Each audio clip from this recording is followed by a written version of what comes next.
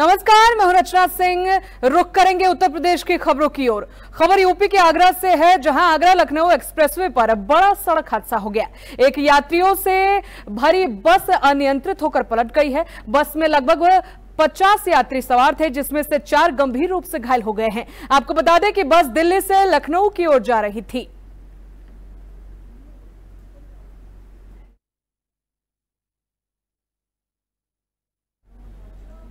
खबर यूपी के बरेली से है, जहाँ बहेड़ी में स्वामी देवहंस का कथित ऑडियो वायरल हो रहा है। वायरल ऑडियो में दूसरे समुदाय के प्रति आपत्तिजनक शब्दों का प्रयोग किया गया।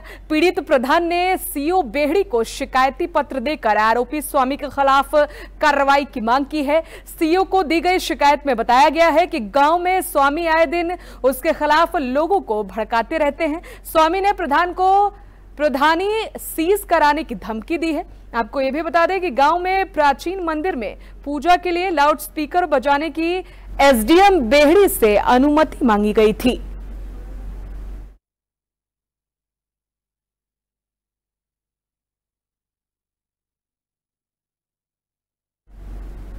खबर यूपी के फरूखाबाद से है, जहाँ ट्रैक्टर विवाद में दबंगों ने महिलाओं के साथ जमकर मारपीट की। दबंग की मारपीट से तीन महिलाएँ गंभीर रूप से घायल हो गई हैं। महिला ने दबंगों पर दुकान में घुसकर मारपीट कर चार लाख के साथ ही सामान लूटने का आरोप लगाया है। इसके साथ ही दबंगों पर ट्रैक्टर ले जाकर एजेंसी पर बेचने का महिला ने आरोप लगाया है। आपको बता दें कि घायल अवस्था में तीनों महिलाओं को सीएचसी में भर्ती कराया गया। वहीं पीड़ित ने दबंगों के खिलाफ थाने में शिकायत भी दर्ज कराई है।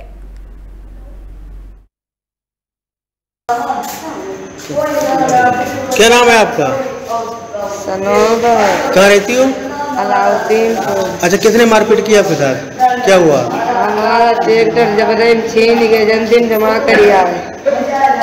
हमारे सवर में कागज़ जन्मदिन जमा करे, जे लोग आए थे कागज़ हमें दे दो मेरी साथ बोली, हम ना दिए कहे, हमारे कागज़ दे दो, मेरे बड़े मामू घुस गए, इतने दुकान पे हमने मामू को अपने धक्का मारा, दुकान में क्या कर रहे मेरी दुकान कम से कम चार लाख रुपया कंचूनी दुकान मेरी है, बहुत भारी। मेरी दुकान में से डकैती डाली, जब हमने हटाया, उन्हें मेरे मामू लड़की गाड़ी ने मेरी छुट्टियाँ पकड़ ली। इतने मेरे छोटे मामू ने मेरी चार लाठी मारी हम भो ही गए। यहाँ मारी मेरे लाठी। इतने हम अपने चौतरे गिर गए फिर दुकान की है तुम्हारी? पंचू क्या नाम है तुम्हारा? मुन्नी। कहाँ रहती हो? अलाउद्दीन को। उन लोगों ने तो को लल्ला बताया कहा बतावा करीब ढाई तीन लाख रुपया। और सब जेवर जितना मैंने अपने घर से दिया बिटिया का हुआ ससुरे का सब लूट लिया जो कुछ अच्छी बुरी सामान की राखी उन्होंने कुछ नहीं। दुकान में दुकान में क्या क्या लूटा है? दुकान में तो बताए रहे पैसा ले गए माल ले गए और उन्होंने फिर मारा बेतादाद और जो सामान अपने भरपाई पापे कोई भरे ले जा रहा कोई कुछ भरे ले जा रहा जी पाँचों छः उन्हें अपना अपने हक से रखा कुछ जो हमने बीच बिचाव करा तो मेरी झंपल की तो बेहाल करे और हमें बा- बेतादाद हमको क्या नाम है ये आपका? मेरा नाम अलिंद है। अच्छा जी क्या मामला है? ये मामला जो है सर, उसका क्या नाम कि आपस का मामला, ट्रैक्टर ट्रैक्टर निजामुद्दीन डॉक्टर छीन ले गए और जब इन लोगों ने विरोध किया तो मेरी बहू जो तीन चार महीने से गर्भ से है, उसको मारा पीटा और इतना मारा पीटा जो हॉस्पिटल में भर्ती है एफ़ आई आर करने के लिए पुलिस के पास मेरा लड़का तहरीर लेके गया तो पुलिस ने उल्टा एफ़ आई आर भी छीन के रख ली और मैं लड़के को थाने में अंदर बैठा ली अच्छा जो आपकी बहू है? जी दौड़ा दौड़ा के मारा सर। क्या नाम है उनका? आपकी बहू का आपकी हो ना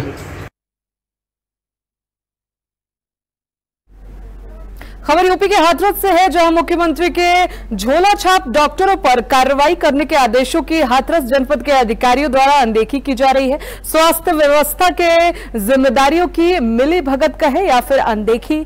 झोला छापों द्वारा जनपद के लोगों की जान से खिलवाड़ किया जा रहा है। मेडिकल स्टोर के सामने मरीजों को पेड़ पर लटकाकर ड्रिप चढ़ाई जा रही थी। स्वास्थ्य विभाग की दरिया से हर बार ऐसा कृत्य करने वाले झोला छाप बच जाते हैं। मुख्यमंत्री ने भी इस तरीके से उपचार करने वालों पर सख्त कार्रवाई के आदेश दिए हैं।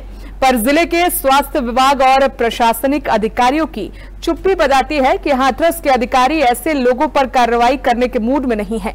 आपको बता दें कि झोलाछाप डॉक्टरों के उपचार से हाथरस जनपद में दर्जनों महिला, पुरुष और बच्चों की जान अब तक जा चुकी है।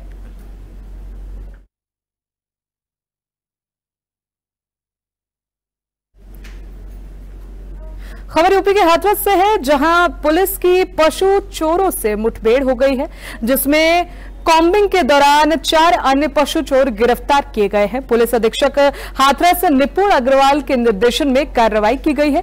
थाना सासनी पुलिस और एसओजी की संयुक्त टीम ने यह कार्रवाई को अंजाम दिया है। रही थी कॉमेडी की तरफ़ से बाइक पे दो बाइक सवार आते दिखाई दिए, जिनको रोकने टकने का प्रयास किया गया। इनके द्वारा न रुककर तेज़ी से बाइक चलाते हुए पुलिस पार्टी पे जान से मारने की नीयत से फायर किया गया। पुलिस पार्टी द्वारा आत्मरक्षात फायर किए जाने पर दो बदमाशों को गोली लगी है। इनके पास से अवैध असलहे बरामद किए गए हैं। इन्होंने अपना नाम पूछताछ पर मुकीम उर्फ़ चूहा और फरमान उर्फ़ अरमान बताया है, जो कि मोरली थाना हाथरस जंक्शन के रहने वाले हैं।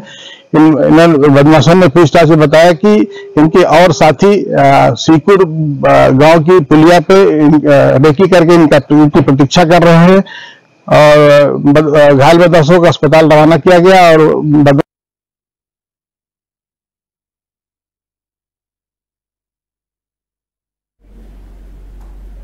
खबर यूपी के कानपुर से है जहाँ गोविंद नगर विधानसभा के विधायक सुरेंद्र मैथानी ने सवाल उठाया है कि पनकी मंदिर के दोनों तरफ़ दो आरओबी लगभग 60 करोड़ की लागत से पनकी पावर प्रोजेक्ट से बनवाए गए थे जिसको सेतु निगम द्वारा तैयार करवाया गया है। मात्र ढाई से तीन महीना पूर्व ही निर, नव निर्माण हुए दोनों पुलों में जगह जगह दरारें आ गई हैं। इसकी शिकायत पिछले जिला अधिकारी के नेतृत्व में की गई है। कानपुर नगर की समीक्षा बैठक में सभी जनप्रतिनिधियों के सामने विधायक ने शिकायत की थी और कहा था कि इन दोनों पुलों में भारी भ्रष्टाचार हुआ है, जो अभी से रिपेयरिंग की मांग कर रहे हैं। इसमें सेतु निगम के अधिकारियों और साथ ही कार्यदायी संस्था से संबंधित लोग और ठेकेदार कंपनी की भारी भ्रष्टाचार की बू आ रही है। इसकी जाँच होनी चाहिए और साथ ही दोषी को दंडित किया जाना चाहिए।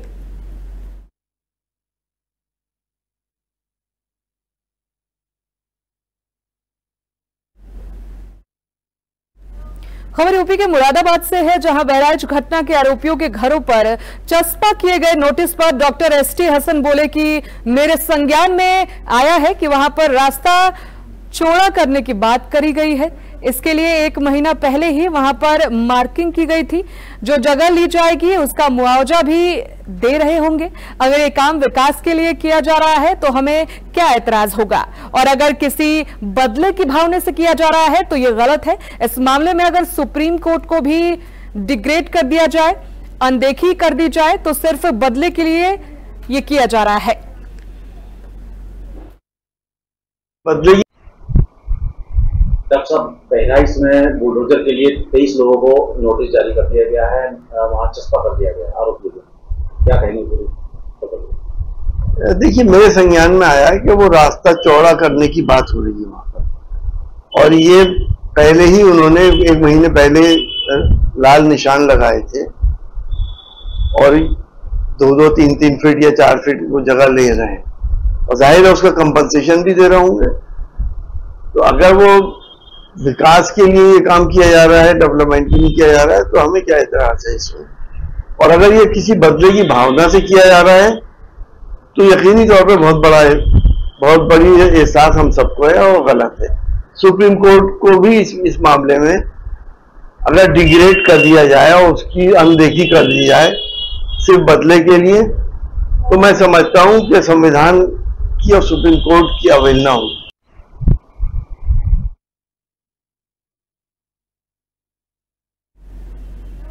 खबर यूपी के मुजफ्फरनगर से है, जहाँ भाई ही एक सगे भाई का हत्यारा बन गया।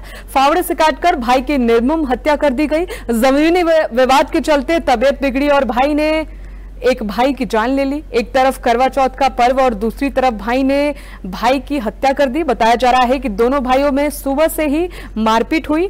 वहीं हत्यारोपी भाई को पुलिस ने गिरफ़्तार कर लिया है। आज थाना नई मंडी क्षेत्र के बिलासपुर गाँव में दो भाइयों के बीच जमीनी संबंधी विवाद में मारपीट हुई। इसमें एक भाई द्वारा दूसरे भाई पर धारदार हथियार से हमला किया गया। अ, हमले में घायल होने के उपरांत उन्हें जिला अस्पताल में उपचार हेतु भर्ती कराया गया। दौरान उपचार व्यक्ति की मृत्यु हो गई। तुरंत हमारे द्वारा उस व्यक्ति को हिरासत में ले लिया गया है हमलावर। और इसमें हत्या का मुकदमा पंजीकृत करा के उन्हें जेल भेजा जा रहा है।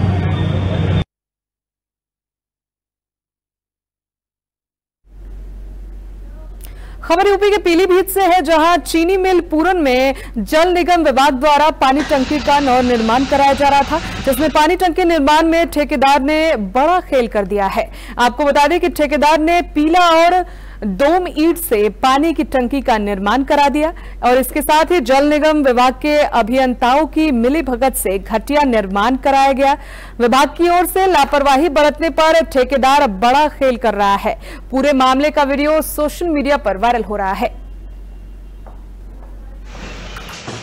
पूरनपुर चीनी मिल में इन दिनों टंकी का निर्माण कराया गया और जल निगम से बनाई जा रही टंकी में जमकर भ्रष्टाचार हो रहा है और ठेकेदार लगातार लापरवाही बरत रहा है और घटिया किस्म की मोरिंग और पीला ईटों से निर्माण कराया जा रहा है। कई मामले को लेकर उजागर हुए हैं, लेकिन विभागीय अधिकारी इस ध्यान नहीं दे पा रहा है और जमा लगातार जो है ठेकेदार कहीं ना कहीं लापरवाही बरत रहा है। आए दिन पीलीभीत ज़िले में ऐसे मामले कई सामने आ चुके हैं, लेकिन अधिकारी जो है कहीं ना कहीं चुप्पी साधे और कार्रवाई करने से कत- कतरा रहे हैं। और बाकायदा आप तस्वीरों देखें, किस तरीके से निर्माण कार्य करा रहा है ठेकेदार और प्रशासन के अधिकारियों को मिली भगत से यहाँ पर टंकी का निर्माण कर रहा है और जल निगम से बनाई जा रही टंकी में जमकर भ्रष्टाचार हुआ है। कहीं ना कहीं अफसरों की मेहरबानी से ये खेला, खेल, खेला जा रहा है और योगी सरकार भले ही इन माफियाओं के खिलाफ अभियान चला रही हो, लेकिन पीलीभीत ज़िले में अफसरों की मेहरबानी से ही भ्रष्टाचार चरम पर है। एन भारत हिजामली पीलीभीत, पूरनपुर, चीनी मिल में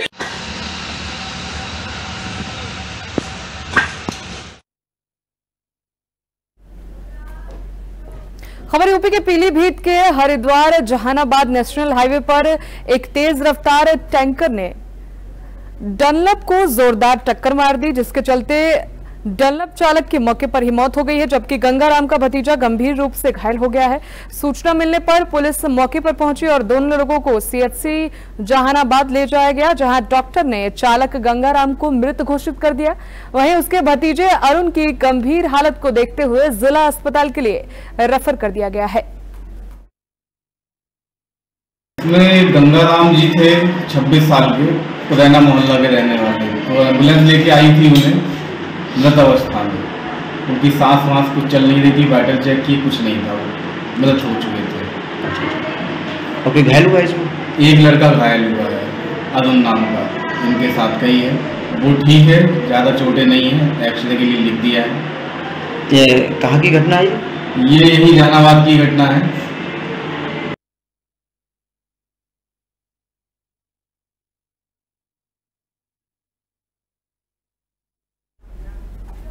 उत्तर प्रदेश की खबरों में फ़िलहाल इतना ही। आगे की तमाम जानकारियों के लिए बने रहिए हमारे साथ।